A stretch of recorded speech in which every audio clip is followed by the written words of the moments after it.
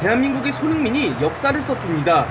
모하메드 살라와 리그 득점왕 경쟁을 펼치고 있던 손흥민은 이날 경기에 선발 출전하며 득점을 노렸습니다.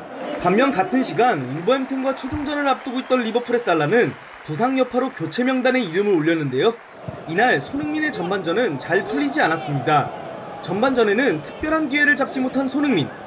후반전에는 절호의 찬스들을 맞았지만 야속하게도 노리치는 손흥민에게만 슈퍼세이브를 선사했습니다. 후반 9분 손흥민은 강력한 왼발 슈팅을 시도했지만 팀 크룰의 선방에 막히고 말았습니다. 이어진 후반 15분에는 결정적인 1대1 찬스를 맞았지만 이 역시 크룰의 선방에 막힌 손흥민. 2분 뒤에는 쿨루세프스키가 패스를 연결했지만 상대 수비의 클리어링에 아쉬움을 삼켰습니다. 후반 24분에는 1대1 찬스가 또 크룰에 막히고 말았는데요. 하지만 손흥민은 득점왕을 포기하지 않았습니다.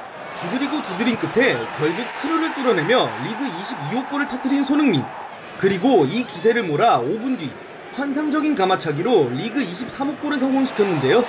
손흥민이 실시간으로 22골의 살라를 제치고 리그 득점 단독 선두로 올라서는 순간이었습니다. 그러나 동시에 진행되던 경기에서 살라가 곧바로 리그 23호 골을 성공시키며 결국 두 선수는 공동 득점왕을 차지했습니다. 아시아 최초 프리미어리그 득점왕에 등극한 손흥민. 프리미어리그 역사 한 페이지에 자신의 이름을 새겼습니다. 스포츠타임 장하준입니다.